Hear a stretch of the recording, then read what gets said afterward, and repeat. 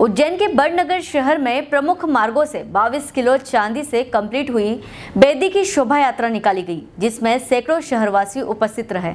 शोभा यात्रा में उज्जैन के बड़नगर शहर में भगवान महावीर के जन्म उत्सव को लेकर 22 किलो चांदी से नवनिर्मित बेदी विराजित होगी और इस 22 किलो चांदी से बने हुए बेदी में स्वर्ण कलश लगाए गए हैं। इस बेदी की शहर में शोभा यात्रा निकली, जिसमें बड़ी संख्या में सैकड़ों शहरवासी उपस्थित रहे। उज्जैन से वीरेंद्र शर्मा की रिपोर्ट।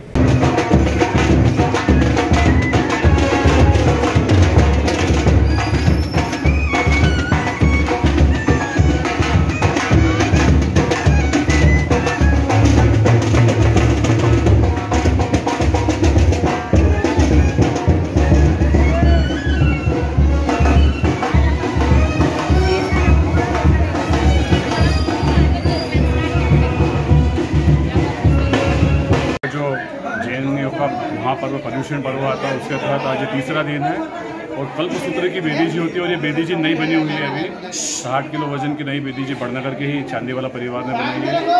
आज उसकी शुरुआत यहाँ से लेकर आए हैं और यहाँ से नगर में चल समारोह निकलता हुआ बड़े मंदिर में पहुँच के इसका समापन किया जाएगा। और ये आज तीसरा बड़ा महत्वपूर्ण पर्यूषण का तीसरा बहुत महत्वपूर्ण दिन है, उसके तहत आज यहाँ पर आयोजन रखा गया है।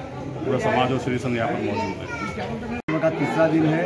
सर्वप्रथम मैं सभी को पर्यूषण महापर्व की बड़ी शुभकामना प्रेषित करता हूँ और आज हमारे श्री संघ को बड़ा सौभाग्य का दिन है कि आज हमारे नए दीदी जी का अनावरण हुआ है, जो पिछले काफ़ी समय से हमारे यहाँ बननी बा, बाकी आ रही थी जिसका आज हमने यहाँ श्री संघ के साथ गाजी बाजी के साथ हमने अनावरण किया है जो नगर के प्रमुख मार्गों से मंदिर जी में इसका समापन होगा। निश्चित यहाँ संपूर्ण जैन समाज में काफ़ी हर्ष प्राप्त है और मैं संपूर्ण नगरवासियों को ये आग्रह करना चाहूँगा कि प्रदूषण के जो महापर्व है इस दिन अहिंसा पर्वों का धारण का पालन करते हुए अहिंसा के मार्ग को अपनाते हुए अपने जीवन में जो कर्मों पाप का उदय है उनको छीन करने के लिए अधिक से अधिक ताकत तपस्या करें। यही सबसे साधारण अनुरोध है जय। फ्रेंड्स